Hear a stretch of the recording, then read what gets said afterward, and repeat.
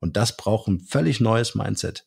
Du musst einfach auch gerade mit externen holen Unternehmen jetzt nicht so gerne rein, ja, äh, zum Beispiel Berater, vielleicht mal für einen Workshop oder so.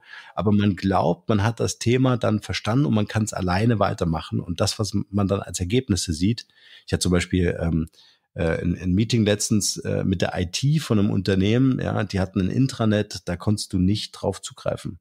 Also das Intranet funktionierte nur mit den hauseigenen Rechnern in den Räumlichkeiten und wahrscheinlich musstest du noch so einen halben Handstand machen, äh, damit du da dich einloggen konntest. Und deswegen hat es auch keiner genutzt. Ja. Ähm, anstatt das alles über Bord zu werfen, weil alte Technologie, um was Neues zu denken, ähm, hat man versucht, dieses alte Pferd immer noch zu reiten, was schon längst tot war. Der Markenrebell Podcast. Spannende Interviews, wertvolle Strategien und provokante Botschaften für Führungskräfte und Unternehmer.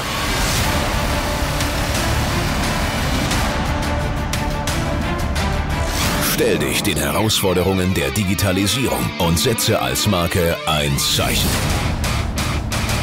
Von und mit Markenrebell Norman Müller.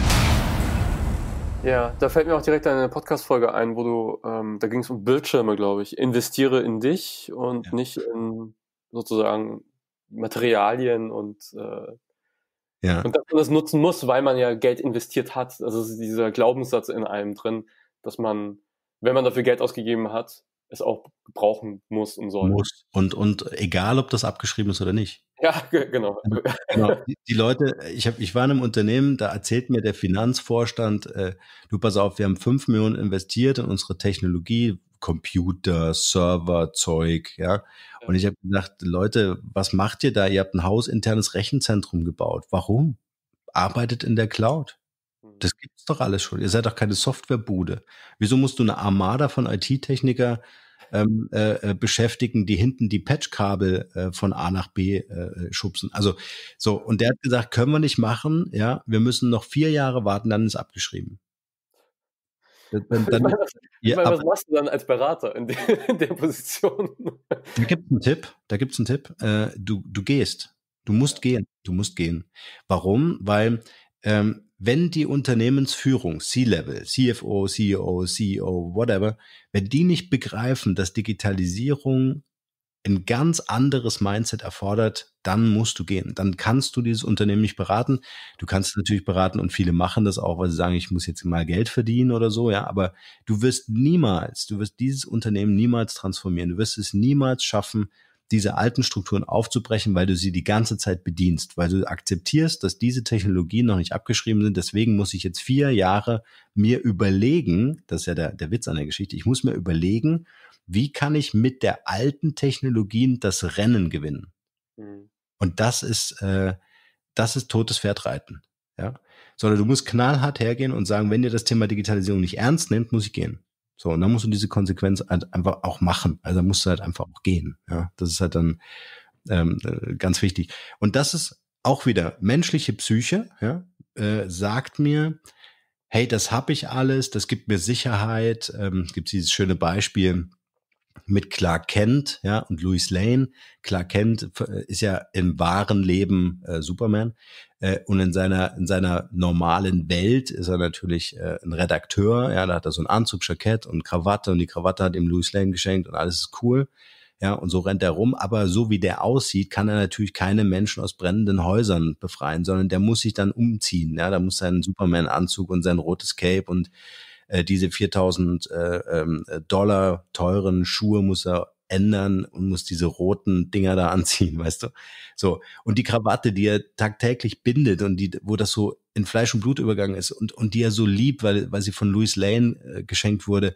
Er muss alles wegschmeißen. Er muss dieses Alte hinter sich lassen, damit er Superman werden kann. Und das müssen die Unternehmen kapieren. Mhm. Sie müssen diesen Change-Prozess hinkriegen. Ja, da fällt mir immer äh, ein Zitat an von Brandon Burchard, einer meiner, also Marketing Gurus, sag ich mal, oder einer, der mich sehr, den ich schon länger kenne und viel auch von ihm konsumiert habe, ähm, der gemeint hat, es gibt nur zwei Wege, wie sich jemand oder etwas ändern kann. entweder du änderst dich von innen heraus mit der klaren Intention oder etwas Externes, etwas Schlimmes passiert und du musst dich ändern.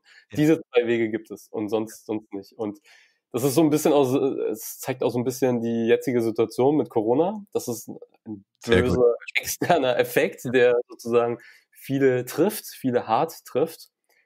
Aber für manche ist das anscheinend notwendig. Ja. Schau doch, ähm, letztens eine Grafik bei LinkedIn gesehen. Auf der linken Seite Amerika mit Google, Facebook, Amazon und so weiter. Auf der rechten Seite Asien mit Samsung, äh, Tencent, äh, ähm, äh, Alibaba, ja. Und dann in der Mitte Europa mit SAP. ja. So. Und äh, jetzt habe ich doch schon das Buch geschrieben 2018, digitale Brandstiftung, steht alles drin, brauchen die Unternehmer ja nur lesen, ja. So, jetzt, jetzt, jetzt kommt dieses Böse von außen, von dem du gerade gesprochen hast, nämlich ein Virus. Und Panne ist das bitte, dass der Coronavirus das letzte und das wichtigste Argument war für die Unternehmen zu begreifen, was Digitalisierung bedeutet. Ja, viele Berater, unter anderem ich, wir sind ja missioniert. Wir haben ja die Leute, wir haben, wir haben ja die Leute versucht zu bekehren und gesagt, hey, das digitale Thema geht nicht mehr weg. Das Internet kann man nicht mehr ausschalten oder so. Ja? Wir leben schon in dieser Matrix. Ja? Du musst noch eine Software lernen. Du musst noch ein neues Device ausprobieren. Ja? Du musst neugierig bleiben. Ja? So. Und das, das ist jetzt alles erledigt. Ja, du brauchst nichts mehr. Ich habe auf der Website von Genius Alliance irgendwo geschrieben, wenn du mir diese Fragen stellst, können wir leider nicht miteinander reden. Ja, ja, da, ja aber man muss deutlich sagen, ich habe keine Lust mehr äh, zu missionieren. Wer es jetzt nicht begriffen hat, äh, der, der, der, der ist eigentlich schon am Sterben. Ja, das, das sind die Unternehmen, die werden untergehen. Wenn ich mich jetzt nicht kümmere, wenn ich jetzt noch nicht im Flow bin, dann habe ich ein massives Problem. Es ist eigentlich schon zu spät, jetzt erst damit anzufangen. Ja, sondern du brauchst diese neue Unternehmenskultur, dass du sagst, okay, und damit meine ich nicht, gestern Fax, heute E-Mail, das ist nicht Digitalisierung, ja, sondern das bedeutet, wir stellen alles in Frage. Wir überlegen uns disruptiv, ne, wir, was zerstört unsere Branche und wir entwickeln dieses zerstörerische Werkzeug selbst und erfinden uns neu. Ja. Also mehr das Mindset, das eigentlich entscheidend ist. Also wie können wir uns neu erfinden mit den Immer. Produkten, die wir in der Vergangenheit produziert haben? Wie können wir das Digitale aufstellen? Ja. Wie können wir neue Einnahmen generieren in der Online-Welt. Ja, du musst es dir vorstellen können. Das ist eigentlich total banal. Man braucht es gar nicht so komplex machen. Ja, mhm. also, ähm, ein Beispiel.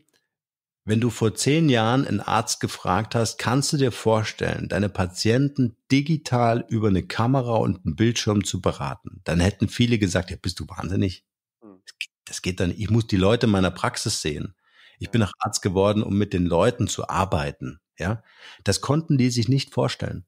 Heute reden wir über Telemedizin. Da gibt's Apps wie Teleklinik zum Beispiel, ja, bei der ich selber mich hab beraten lassen zum Thema Corona. Super geil. Du hast deine Arztbriefe in der App, du kannst mit kompetenten Leuten reden. wenn dir der Arzt nicht passt, dann wechselst du den halt per Klick. Ja, ist total witzig. Und ähm, äh, äh, und, und, und das ist, das ist das Neue, weißt du? Und, und dieses alte Ding, ich kann es mir nicht vorstellen, und das ist der, der, der Master Key. Wenn du dir vorstellen kannst, ich habe auch Kunden, mit denen rede ich zum Beispiel, hey, wie sieht's denn aus? Wie viel willst du denn im Monat für dich einnehmen, für deine Firma? Und dann rechnen die immer an, am untersten Level. Die sagen, naja gut, ich habe Personalkosten und ich will dann noch ein Leasingauto und so weiter. Und dann, dann kommen die irgendwie so auf Spitz, auf Knopf und dann sagen die, okay, vielleicht noch zehn Prozent mehr. Aber was wir brauchen, sind unverschämte Ziele. Unverschämte Ziele. Und da gibt's einen coolen Trick. Pass auf, da gibt's einen coolen Trick. Ähm, wenn dich jemand fragt, was ist dein Ziel, was ist deine Vision, wo willst du hin, was ist dein Big Picture, ja? Und äh, dann formulierst du das und auf der anderen Seite ähm, kommt dann so eine Frage, ah, ist ja interessant und erzähl mal ein bisschen mehr. Wenn so eine Reaktion kommt, dann ist es das falsche Ziel. Dann ist es kein Big Picture. Dass, wenn du eine Reaktion auf der anderen Seite hast, die dann sagt, bist du wahnsinnig? Wirklich? Du willst international gehen? Du willst, du willst das Synonym deiner Branche werden? Ja, also du willst Tempo werden für Papiertaschentücher? Oh, krass. ja, ja, oder, oder Leute, die sich dann sogar vielleicht ab, äh, abwenden oder, oder Leute, die dich auslachen, dann weißt du, das ist das richtige Ziel. Mhm. Das ist das Big Picture. Ein schönes Beispiel, was ich immer wieder bringe, ist äh, so die Telefonie. Ja, ähm, nimm mal den Marktführer Siemens in der Festnetztelefonie. Ja, ja. das Big Picture von denen war zu sagen, hey, ich mache Festnetztelefonie zu einem Erlebnis. Und dann haben die gebaut und die Hörmuschel zehn Prozent besser gemacht, dass du viel besser hören konntest, du warst viel besser zu verstehen. Irgendwann war dieses Kabel verschwunden, du konntest in der Wohnung mit dem Ding frei rumlaufen, ja. Kleine Innovationsschritte, in, inkrementell, oder wie heißt das? Ähm, also Absolut. Also, ja, ja, genau. Also so zwei bis fünf Prozent Wachstum, genau. zehn im Jahr, ist doch cool, ja. damit, sind, damit sind die auch gewachsen und damit sind die auch erfolgreich gewesen, ja. Aber sie waren halt nicht die Erfinder des Mobilfunktelefons. Ja. Das war Motorola, Marktführer Nokia. Ne? So, und die wiederum waren nicht die ähm, Erfinder des Smartphones, das war dann Apple. Warum? Weil Apple hatte das Big Picture und hat gesagt, mein Big Picture ist nicht telefonieren. Mein Big Picture ist Kommunikation. Ja, natürlich kann dein iPhone heute auch telefonieren. Aber wie oft nutzt denn das? Im Vergleich zu Videochat, äh, Facebook, äh, WhatsApp und so weiter und so fort. Ja. Und dieses übergeordnete Big Picture, diesem Leitstern, diesem Leitbild zu folgen, äh, das, das ist die große Arbeit. Das ist die große, das, das ist so Teil eines Positionierungsprozesses, ne, den du unbedingt hast im Personal Branding oder auch wenn du äh, digital arbeitest äh, mit Unternehmen. Ja, super. Super spannend. Wobei auch, auch immer auffällt, dass diese großen Innovationsschritte dann nochmal von extern kommen. Also hungrige Unternehmen, die, die eine andere Vision haben, die sozusagen die äh, bisherigen Leitwölfe in Frage stellen. Das ist immer ganz spannend zu beobachten. Ja, die, die haben natürlich Schnellboote, ne? Also ja. äh, ich, ich, ich habe mal so, ein, so eine Crew kennengelernt, das war total abgefahren. Die haben äh, ihre ihre MacBooks auf den Knien gehabt, ja, äh, waren noch vorher einkaufen, haben ein paar Kästen Bier organisiert und haben gesagt, wir hacken jetzt mal am Wochenende eine Branche, ja. Und da, da waren dann Hochleistungsdesigner dabei, Programmierer dabei, Strategen dabei und dann haben die einfach mal eine, eine, so eine kleine Mini-Plattform gebaut, um, um also nach dem Wochenende dann eine Woche lang zu testen, ob es angenommen wird. Ja. Mhm.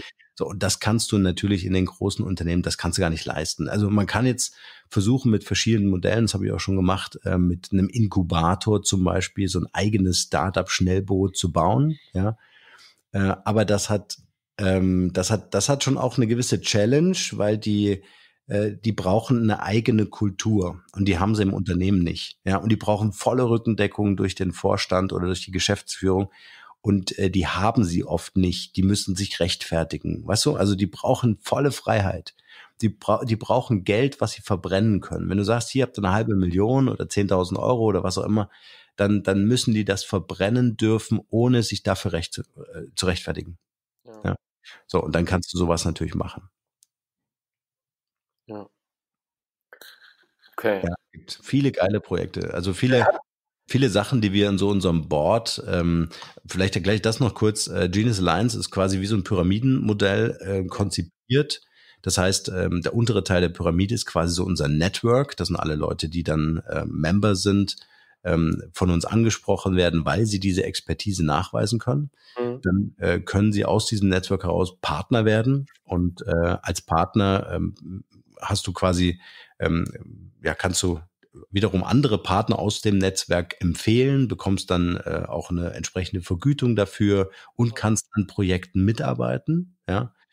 Und dann gibt's eine Senior-Partnerschaft, das heißt, äh, du machst eine, eine finanzielle Einlage ins Unternehmen, mit dem Geld wird dann gearbeitet und dann hast du sogar eine Umsatzbeteiligung am Unternehmen. Ne? Und ganz oben ist dann die das äh, CEO, Founder-Level, ähm, äh, genau, so einfach mal als Struktur äh, gedacht dass man durch und durch als Netzwerk mitarbeitet, aber sich auch, wenn man will, voll einbringen kann. Ja, ja, ja, spannend.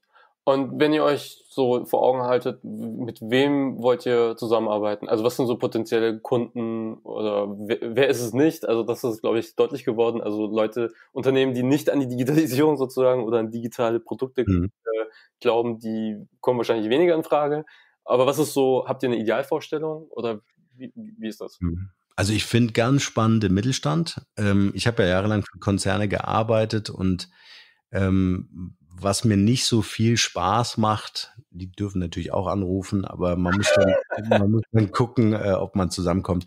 Weil was mir keinen Spaß macht, ist, ich will nicht durch diese alten Strukturen durch. Ich habe keine Lust, im Zentraleinkauf zu quatschen, ja, oder ähm, ähm, weiß ich nicht, ähm, einem, mit einem Vorstand oder bei einem Vorstand zu missionieren, der nicht dran glaubt oder so, nur weil der Marketingleiter jetzt gerne mit uns arbeiten wollen würde, das hatte ich alles schon. Also das ist eher uninteressant. Mhm. Was ich super finde, sind Mittelständler, ähm, kleine mittelständische Unternehmen, so das Rückgrat der deutschen Wirtschaft, die fit zu machen für die Digitalisierung, dort zu innovieren, ähm, äh, tolle Projekte äh, zu schaffen und auf ähm, Unternehmerebene so ein Merch hinzukriegen. Ja, zum, zum Beispiel ähm, nehmen wir mal das ganze Thema Patientendatenspeicherung in der Gesundheitswirtschaft. Wo findet das statt? Ja, wo steht der Server? Machen wir Blockchain-Technologie, ja oder nein? Ist eigentlich für mich ein wichtiger politischer Auftrag.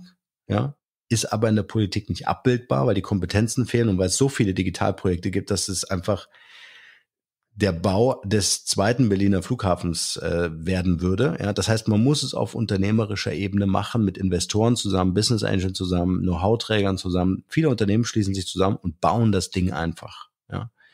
So, ähm, solche Projekte zu initiieren zum Beispiel. Also das sind so Zukunftsprojekte, aber dann auch ein Unternehmen einfach digital zu shiften, wirklich auf das nächste Level zu heben, ähm, sowas reizt mich. Vor allen Dingen das auch nachweislich über eine Umsatzsteigerung zu machen. Sorry, ich muss an dieser Stelle ganz kurz unterbrechen, denn ich habe mein VIP-Mentoring-Programm neu aufgelegt. Es heißt, digitalisiere dein Business jetzt. Denn Umsatz kommt von Umsetzen und genau da fehlt vielen die richtige Strategie und ein zuverlässiges System. In meinem VIP-Mentoring lernst du in wöchentlichen Live-Webinaren über einen Zeitraum von drei Monaten, wie du als Experte, Berater, Coach, Speaker oder Dienstleister digitale Geschäftsmodelle erfolgreich aufbaust – mit einem monatlichen Umsatz, den du dich gerade noch nicht traust, laut auszusprechen. In den letzten 20 Jahren habe ich mehr als 1000 Klienten dabei geholfen, ihr Unternehmen digital erfolgreich zu skalieren. Ich habe mit den größten Unternehmen in Deutschland gearbeitet, mehrere Unternehmen selbst gegründet und liebe es, als Familienvater mit meiner Lebensgefährtin Katharina und unseren fünf Kindern viel Zeit zu verbringen. Mit der Genius Alliance GmbH habe ich die erste vollständig digital operierende Unternehmensberatung aufgebaut und in dieses Unternehmen ein professionelles Netzwerk mit hochspezialisierten Digitalexperten integriert. Jetzt möchte ich meine Erfahrung direkt an dich weitergeben.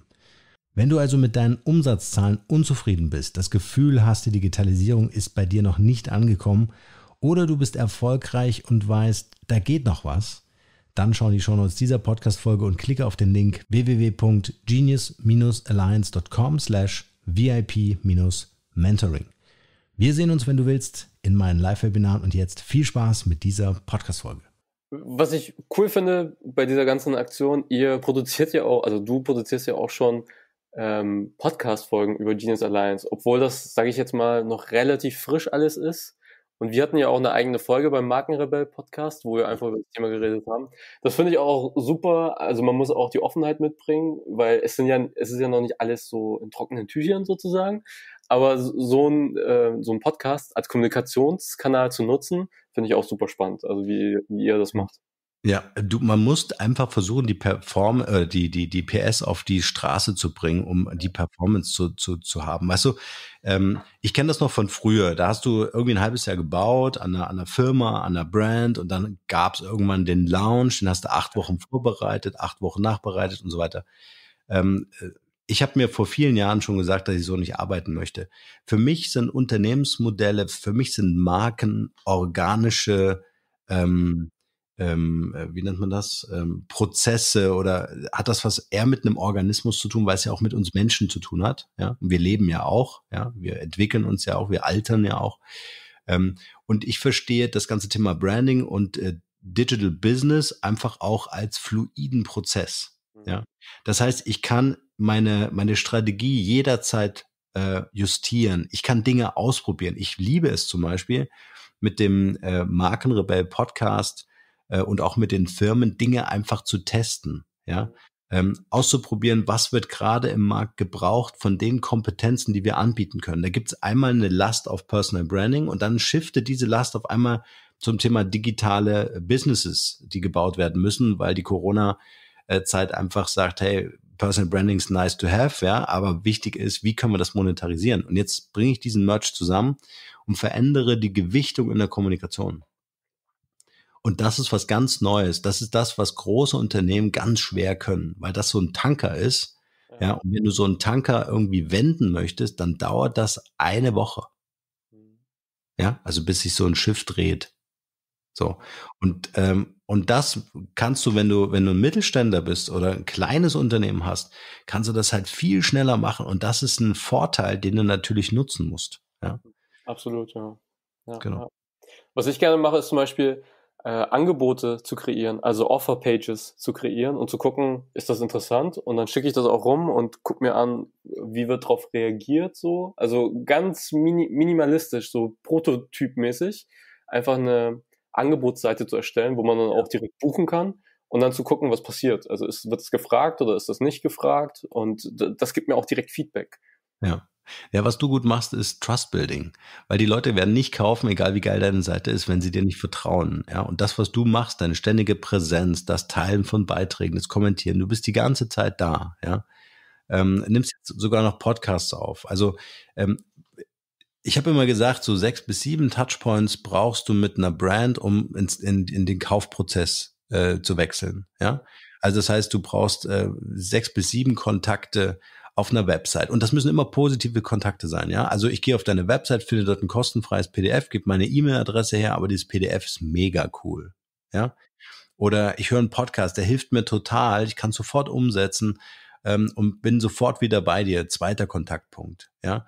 Und ähm, dann schreibe ich dir noch eine E-Mail, du reagierst innerhalb von zwölf Stunden, bist so nett und lieferst mir also dieses Thema Overdelivern, liefert einfach mir mehr, als ich eigentlich mir vorgestellt habe. Dritter Touchpoint, ja, und so weiter, sechs bis sieben. Dann habe ich ein Vertrauen zu dir aufgebaut, gehe auf deine Website, du sagst, hey, ich mache eine Masterclass, ja, werd Member, hier klicken, bewirb dich, bewerbe ich mich. Mhm. Jetzt hat sich was verändert, dadurch, dass jetzt eine, eine, eine Überschwemmung im digitalen Markt stattfindet, weil jeder gerade zu Corona-Zeiten ähm, glaubt, seine Passion im Coaching gefunden zu haben. Ja? ja. Oder, oder Berater äh, oder Beraterin werden möchte und so weiter, also sich ein digitales Business aufbauen möchte, ähm, kann das jetzt äh, der Kunde nicht mehr so gut dekodieren. Ja, also er kriegt nicht mehr entschlüsselt, ist das jetzt ein seriöses Angebot von jemandem, der das schon seit Jahren macht und sehr erfahren ist, oder hat er sich gerade vor zwei Wochen selbstständig gemacht, weil die Webseiten, die da produziert werden, die sind schon sehr professionell. Ja, und die ziehen ja alle Register in Sachen äh, Marketing und Verkaufspsychologie. Ja. So, das heißt, aus den sechs bis sieben Touchpoints sind jetzt 17 geworden. Und das ist natürlich ein Brett. Das heißt, du musst viel, viel mehr liefern, viel, viel mehr an Content produzieren, ähm, dass die Leute auf die Idee kommen, auf deine Website zu gehen und zu kaufen.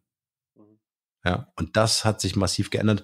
Und ich glaube, das wird in der, in, in der nächsten Zeit auch noch zunehmen. Also die Erwartungshaltung des Kunden ist noch viel höher geworden. Ähm, da ist der Podcast zum Beispiel fast schon eine Selbstverständlichkeit, ja, dass du den in deinem Kommunikationsportfolio hast, neben einem Blog, neben einem Video und Produktion und so weiter.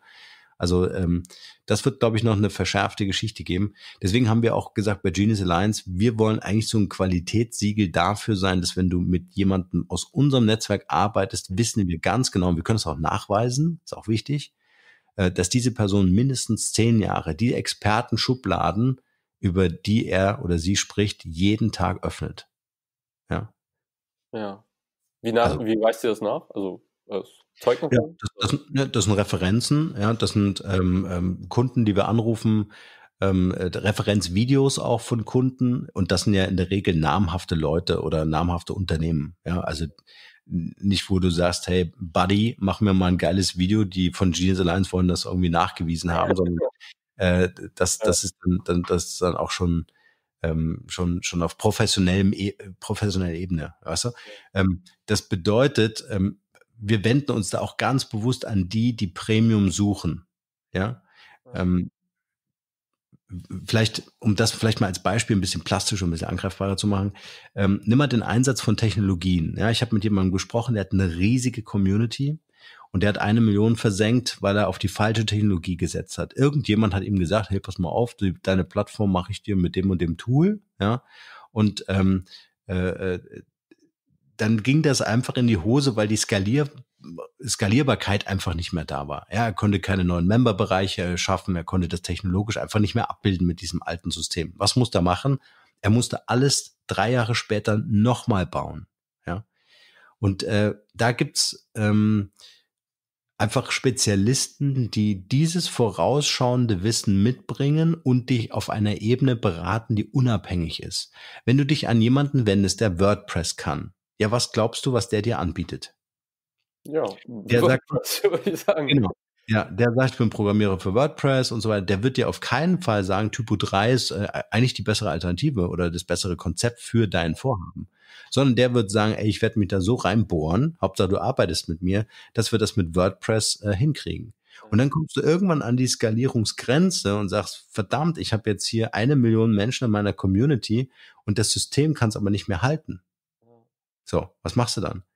Und da von Anfang an, und das dann ähm, sehen wir so als unsere Aufgabe, unter anderem eben auch deine Investitionen zu schützen. Ja, dann lieber mal eine, eine Beratungsstunde investiert, kurz dein Thema geschildert und dann schaust du einfach, äh, was du machen kannst. Das heißt, die Skalierbarkeit ist für uns ein ganz wesentlicher Aspekt. Also Skalierbarkeit in Sachen Technologie, ne, Infrastruktur und Skalierbarkeit auch in Richtung Geschäftsmodell. Ja, also nicht diese Zeit gegen Geldnummer, sondern wie kannst du dein Geschäftsmodell so aufbauen, ähm, dass es dich nicht braucht.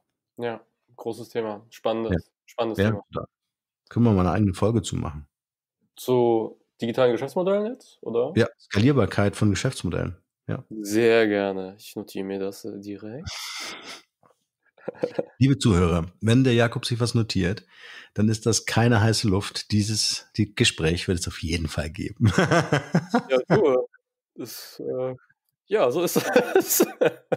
Genau. Ich mache da keine halben Sachen, ehrlich gesagt. Also, was ich noch sagen wollte, was ich sehr schön finde, ist, ähm, dass ihr sozusagen das, was die, die wichtigste Währung im Internet ist das Vertrauen und dass ihr sozusagen eine Vertrauensmarke schafft mit Genius Alliance um Leuten zu zeigen, hey, passt auf, passt auf diese Sachen auf und geht diesen Pfad oder wir empfehlen diesen Pfad. Das finde ich, das finde ich super. Ja. Also ich glaube, das ist ja auch, das ist ja auch was Urmenschliches, ja. Mhm. Und je mehr wir digitalisieren, desto wichtiger oder bedeutsamer ist das Menschsein. Ja? viele haben ja gesagt vor, vor vielen Jahren, zehn Jahren oder was, gab es ja immer diese, oh, wir werden ersetzt durch digital, wann braucht man uns gar nicht mehr und so. Im Gegenteil, der Gegen, das Gegenteil ist der Fall. Ja? Je mehr wir digitalisieren, uns alleine, was uns die Technologie an Prozessen abnimmt, ja, ja schafft wieder mehr Zeit dafür, dass ich mich zwischenmenschlich austauschen kann. Mhm. Ja, also wir werden befähigt, uns voll und ganz auf das zu konzentrieren, was wir wirklich machen wollen und wo unsere Kompetenzen und Fähigkeiten liegen, weil die, die, die Maschine macht den Rest. Ja. ja. Das muss ich natürlich auch wollen. Ja, also wenn ich mich natürlich als Opfer sehe und sage, oh ach nee, jetzt muss ich jetzt auch noch ein Tool lernen oder so. Ich habe eine ganz tolle Klientin, die ist über 60 Jahre, die sagt, hey, ich will noch mal eine Delle ins Universum hauen. Ja, hilf mir. ich lerne das. Ja, ich mache das. Ja. Und das begeistert mich einfach so, sicher haben wir Coaching-Termine, wo die total überfordert ist, wo die einfach sagt, hey, das war jetzt so viel, ich verstehe es nicht, auch Frust dabei ist. Aber beim nächsten Mal strahlt über das ganze Gesicht und wir clustern quasi die Komplexität und widmen uns dann jedem einzelnen Baustein. Ich liebe das. Ja, mhm. also ich arbeite so wahnsinnig gern mit Menschen, die einfach, äh, wo du einfach spürst und fühlst, dass die in ihrer Passion unterwegs sind. Ja, ja. Das ist mega cool. Ja. Ja. Gut, ich sehe schon. Äh, mit Hinblick auf die Uhr. Äh, wie kommen denn jetzt Zuhörer in Kontakt am besten mit euch? Was, äh, wo sollen die hin am besten? Also eine super Adresse, eigentlich zwei Webseiten. Einmal genius-alliance.com. Ja. Aktuell ein One-Pager oder wer mehr jetzt über Markenrebell und das ganze Thema Branding und digitale Geschäftsmodelle wissen will, dann natürlich auf markenrebell.de. Wir haben auch noch, ich weiß nicht, wann du auf Sendung gehst mit dieser ganzen Aktion, vielleicht können wir da in den Shownotes einen, einen, einen Link packen. Wir haben nämlich eine Masterclass am Start, die wir haben die genannt Mindshift Business Masterclass. Äh, die startet im Oktober. Äh, die mache ich mit der Katharina, meiner Lebensgefährtin, zusammen. Äh, die hat 20 Plätze. Wir wollten eigentlich erst nächstes Jahr wieder eine machen, weil wir keine Lust auf diesen Stress hatten. Das ist nämlich echt ordentlich Arbeit. Aber wir haben so viele Anfragen bekommen, dass ähm, gerade der Aufbau eines digitalen Businesses äh, ein großes Thema ist für viele, gerade jetzt in Zeiten von Corona, wo wir auch nicht wissen, zweite Welle, ja, nein. Ähm, machen wir jetzt im Oktober nochmal einen Start. Äh, da können wir gerne einen Link in die Show Notes setzen. Cool. Und ähm, wer da Lust drauf hat, gerne melden. Ja, super spannend. Und äh, bei dieser Masterclass ist das dann, ähm, wie muss man sich vorstellen, dann wöchentliche äh, Hangouts oder und ihr gebt dann Input und mhm. euch aus oder wie? Ja. Also ähm, wir haben einmal im Monat ein Live-Webinar, wir haben äh, individuelle Coachings, es gibt eine Online-Plattform, auf der ich den Content quasi im Selbststudium äh, mir aneigne, da sind Videos drauf, sind Handouts drauf, äh, Arbeitsbücher drauf und so weiter. Äh, spezielle Podcast-Folgen, spezielle Interviews, ähm, gepaart mit, das macht meine, meine Partnerin Katharina, äh, Persönlichkeitsentwicklung. Sie hat da eine besondere Methode entwickelt, die nennt sie The Process. Äh, damit kommst du so an deine inneren Potenziale ran, kommst aber auch in die Kommunikation und Beziehung mit anderen Menschen. Ist ja wichtig, wenn wir über Kunden oder Mitarbeiter reden. Ja. Äh, und das kombinieren wir, weil diese psychologische oder psychotherapeutische ähm, äh, dieser, dieser Ansatz einfach wichtig ist, um selber deine Marke zu bauen, weil das mit dir zu tun hat als Mensch, als Persönlichkeit und da ist deine Psyche natürlich maßgeblich. Wenn du Ängste, Blockaden hast, dann kann ich dir die geilste Marke geben, dann kann ich dir das geilste Geschäftsmodell äh, geben. Es wird nicht erfolgreich sein, weil du dich selbst blockierst, ja, weil du glaubst, dass es nicht funktioniert. Und das haben wir miteinander kombiniert und ähm, da werden wir eine sehr intensive Zeit äh, miteinander durchleben. Das geht ungefähr ein halbes Jahr. Krass, okay ähm, weil wir wirklich wissen wollen oder sehen, dass nach drei bis sechs Monaten kannst du den Erfolg sehen. Ja. Also äh, bei manchen geht's schneller, die sind nach vier Wochen sowas von on fire, dass, dass die sagen, wow, das funktioniert. Auch da ist Thema Skalierung für uns ganz wichtig in der Masterclass. Also wie kann ich mir ein Business bauen, was skaliert? Ja. Ähm, und ähm, in der Regel muss man sagen, so im Schnitt kann man sagen, nach drei Monaten, ja, dann hast du einen relevanten Umsatz äh, in deinem, deiner Company. Wenn du mitziehst, das ist immer wichtig, ja. Also dir, es reicht nicht, wenn ich begeistert bin oder die Katharina, sondern äh, wenn du natürlich selber Bock hast, selber mitziehst und da Vollgas gibst, äh, dann ist das, dann, dann ist Erfolg nicht aufhaltbar. Wir müssen aber ein Vorgespräch führen, weil es ist immer wichtig, ähm, wir arbeiten mit Leuten zusammen, die wirklich Premium-Produkte und Dienstleistungen anbieten wollen. Mhm. Ja. Weil es, ähm, es ist nicht für jedes Geschäftsmodell äh, ist unser System oder, oder unsere, unsere Strategie geeignet. Ja? Also wenn du zu wenig verdienst an einem abverkauften Produkt oder einer Dienstleistung, dann, dann äh, ist da nicht genug Spielraum, um das zu skalieren. Und das müssen wir vorher checken. Deswegen kann man sich bei uns melden. Wir führen ein Vorgespräch, hören, was du vorhast, also entweder in der Gründung oder in einem Unternehmen schon hast. Mhm. Und dann ähm, boarden wir dich on. Genau. Also 20 Plätze. Die Zeit läuft. okay. Ja, ja. Äh, dann das muss meiner Meinung nach mit rein. Also das können wir gerne in die Show Notes mit reinpacken. Ähm, cool, danke. Vielleicht können wir da wirklich ein paar Leuten helfen. Also ich freue mich vor allen Dingen wirklich auf Leute, die sagen, hey, äh, pff, mir steht das Wasser bis zum Hals, ich muss jetzt wirklich äh, Vollgas geben. Äh, wie digitalisieren wir mein Business? Also ich freue mich wirklich darauf, äh, mit den Leuten dann diesen Shift hinzukriegen in sehr kurzer Zeit. Deswegen haben wir uns jetzt entschieden, das im Oktober noch zu machen. Weil die jetzige Masterclass, die wir jetzt aktuell betreuen, die läuft im Oktober aus. Also es geht nahtlos über. Keine Pause für euch? Kein Urlaub für uns. ja. Aber dafür seid ihr ja, so Herzen der Menschen. Ja. genau. Sehr gut. Abschlussfrage. Ähm, wenn du ein Meeting verlässt oder ähm, ja, ein Meeting verlässt, was ist der Gedanke, den die Menschen im Raum äh, haben sollen über dich, über deine Persönlichkeit? Was, was sollen sie sozusagen mitnehmen oder mit welchem Gefühl sollen sie rausgehen? Wenn du nicht mehr im Raum bist, sozusagen, wenn du schon draußen bist. Das ist eine coole Frage.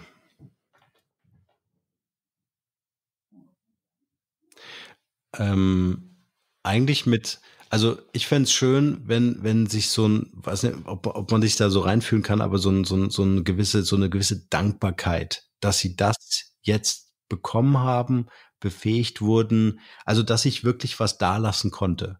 Mhm. Was gar nicht so sehr mit meiner Person zu tun hat, sondern dass die Leute sagen, wow, also diese Perspektive mega, da habe ich voll Lust drauf oder ich hatte letztens ein Meeting, da ging es um, um äh, ganz banale Sachen, so ein Logo, Name für ein Unternehmen oder so, ja. ja. Oder ein, Claim. Und das war einfach nur ein ganz kurzes Meeting, Stunde oder so, da haben wir das entwickelt und dann gehen die Leute raus und feiern das und schreiben mir dann auf Telegram und sagen, ey Norm, wow, das ist so geil. Ich habe es meinen ganzen Freunden erzählt, tolle, äh, toller Impuls.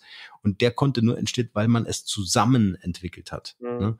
Also dieses assoziative Denken, was wir hinkriegen, wenn wir Erfahrung haben. Ja, also wenn wir sagen, ey, krass, habe ich ja schon mal gemacht, adaptiere ich ein bisschen, wunderbar. Ja, ähm, das fällt uns natürlich in einer gewissen Seniorität im Alter leichter, aber auch dieses Übereinanderlegen von Wissensnetzen. Also, dass ich zum Beispiel sage, ich bringe meine Erfahrung mit rein, du deine.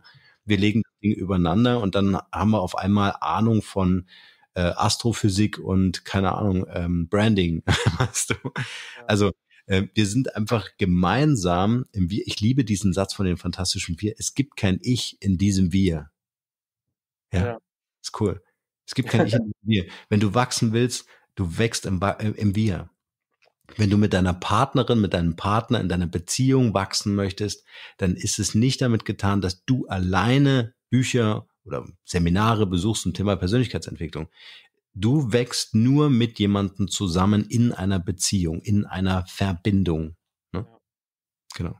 Und das ist das ganze Geheimnis. Also wenn ich raus bin aus dem Raum, sind hoffentlich alle hinter mir äh, befähigt, on fire, voll motiviert und am Ende erfolgreich, weil können wir auch mal eine Folge machen, bitte, wenn du magst, aufschreiben.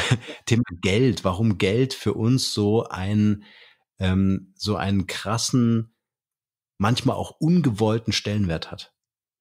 Ja, weil äh, du kannst Geld ja sehen, also ich habe viele, ich habe oft damit zu tun, kann ich diesen Preis wirklich verlangen? Ist es das wirklich wert oder überhaupt Geld zu verlangen? Weiß ich nicht, ja, so Fragen.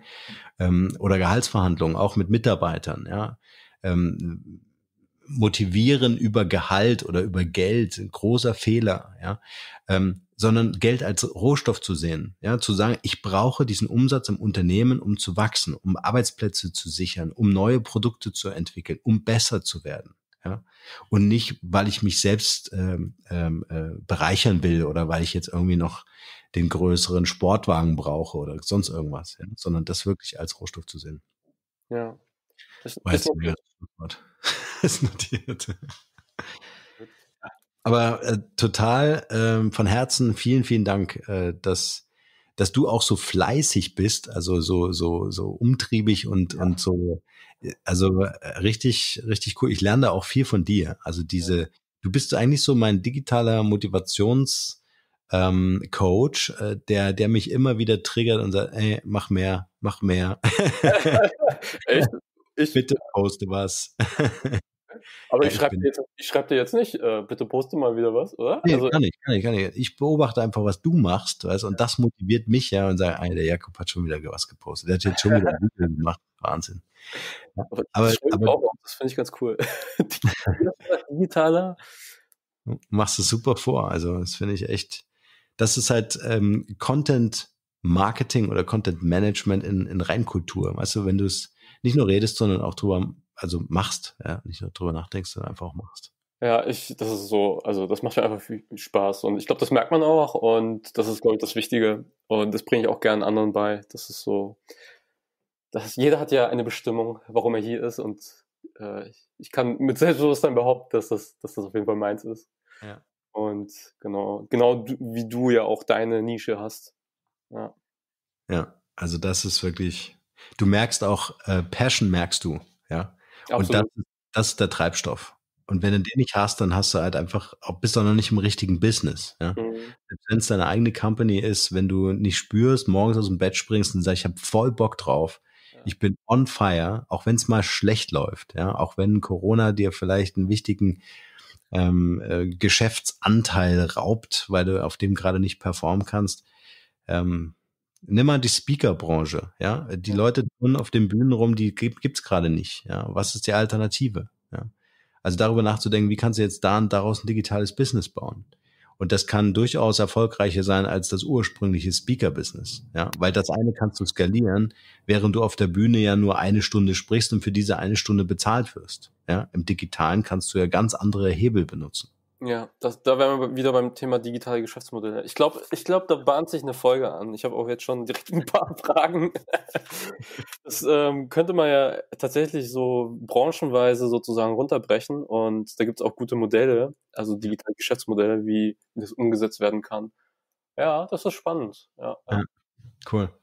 Du, wir packen noch in deine Shownotes äh, so ein E-Book mit rein. Da packen wir einfach einen Link mit rein ähm, kann man kann man das E-Book äh, kostenlos runterladen zum Thema Personal Branding. Ich glaube, da gibt es auch noch mal ein paar Impulse, einfach auch eine, eine Zusammenfassung, weil dieses Entwickeln hat ja immer was damit zu tun. Du stehst vor so einem Knäuel, jetzt erzählt der Typ da irgendwas von Personal Branding und digitalen Geschäftsmodellen, aber wie fange ich ihn an?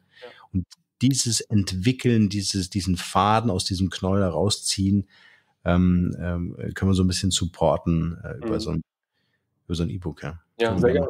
Gerne, gerne. Packe ich alles mit rein. Cool. Super. Ich bedanke mich, Norm, für die super Zeit, für das super Interview. Sehr gerne. Immer Danke wieder spannend. Ich lerne auch immer extrem viel und ich bin mir ziemlich sicher, dass die Zuhörer auch sehr viel mitnehmen. Ja, dann Dankeschön und bis zum nächsten Mal. Cool, bis zum nächsten Mal. Danke, Herr Jakob. Bis dann. Ciao.